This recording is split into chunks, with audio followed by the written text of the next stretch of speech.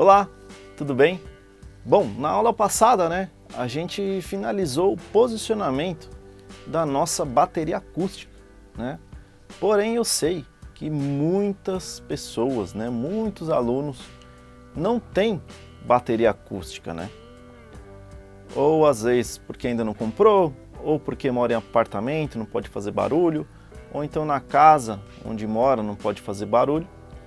E aí nós temos né, outras opções que amenizam né, toda, todo esse volume sonoro da bateria acústica. Né? No caso aqui, eu estou com uma bateria eletrônica, certo? Para você é, perceber né, as semelhanças que a bateria eletrônica tem com a bateria acústica. Tá? E eu vou focar aqui é, nessa questão do posicionamento né, da bateria eletrônica. Por quê? Porque eu vejo que muitos bateras que têm a bateria eletrônica, eu vejo eles pecando muito no posicionamento. Né? Para você é, pensar né, da forma correta e como posicionar sua bateria da forma correta, você precisa ter em mente a bateria acústica. Né? Por que, que eu falo isso? Porque às vezes você estuda na bateria eletrônica em casa, mas aí você tem a oportunidade de fazer um som com os amigos ou tocar na igreja, né, numa bateria acústica. Se o posicionamento né, que você usa na sua bateria de estudo for muito diferente da bateria acústica, você vai sentir ali uma diferença tremenda na hora que você for tocar, né?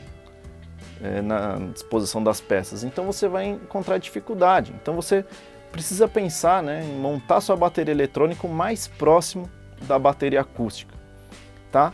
E quando eu falo isso, eu falo relacionado aqui aos pads, né? Por exemplo, os tons. Se você pegar na bateria acústica, né, o centro da pele dos tons, eles têm um certo distanciamento, né, do tom de 10 para o tom de 12, certo? Então eu vou montar os meus tons aqui na bateria eletrônica pensando nisso, né? Opa, o centro da pele está aqui do tom de 10 e o centro da pele está aqui do tom de 12, então onde eu vou tocar. E às vezes eu vejo o erro né, das pessoas que têm bateria eletrônica montar tudo muito juntinho, tudo muito fácil, sabe? Por exemplo, deixa os tons assim bem pertinho do outro. É, por exemplo, deixa o prato, aqui é um fácil alcance, né? Deixa bem baixinho e aí fica tudo muito lindo, maravilhoso, né? De você tocar a lei do mínimo esforço. Mas não é essa a realidade, né? Quando você for para a bateria acústica, você vai sofrer, né? Porque você estudou de uma forma e aí no vamos ver vai estar tá tudo diferente. Então, repense nessa forma de posicionar sua bateria eletrônica. Use as aulas anteriores, né, que eu te mostro como posicionar a bateria acústica. Faça isso na sua bateria eletrônica também, tá bom? Questão de posicionamento de caixa, né, do chimbal. Lembra que eu tinha falado que a altura era de um palmo, geralmente que eu deixava? Tá aqui, ó, um palmo, certo? O meu banco, os meus pés estão numa posição confortável, tanto o pedal do bumbo quanto aqui o pedal do chimbal. Então tá igualzinho né, a disposição dos meus pés aqui. A disposição do prato de condução, se você for analisar, né, vai estar tá bem próximo né, do que estava na bateria acústica. O surdo também, o tom 2.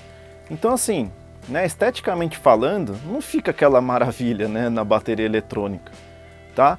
Mas é o que te traz mais perto da realidade, tá bom? Para você não sofrer tanto quando você for para a bateria acústica. E o mesmo vale caso você tenha bateria praticável, né? A bateria acústica a gente ainda tem a vantagem de colocar um fone e conseguir né, ouvir o som das peças e tudo mais. Já a bateria praticável é só pad, né? E aí você também precisa né, posicionar os pads o mais próximo possível né, da bateria acústica, tá bom? Então isso é muito importante, certo? Eu vou colocar uma foto aqui, né, comparando, né, a visão de cima da bateria acústica, certo? Com a bateria eletrônica, para você perceber a semelhança, né, no posicionamento, certo? Para você entender realmente o que eu estou falando aqui. Dá uma olhadinha na foto aí.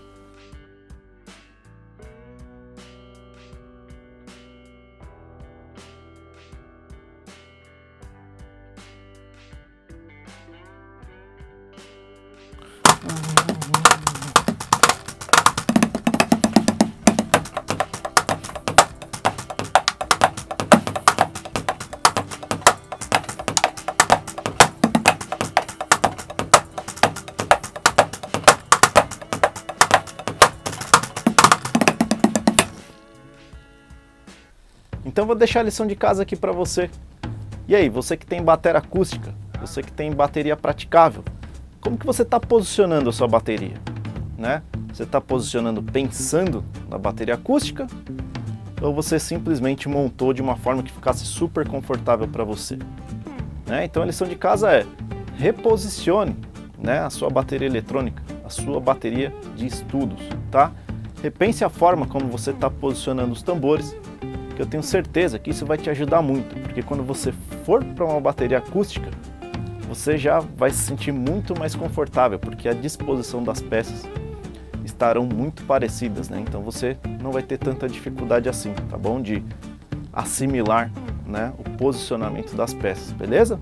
Reposicionei sua bateria, tenho certeza que vai ajudar e muito nos seus estudos.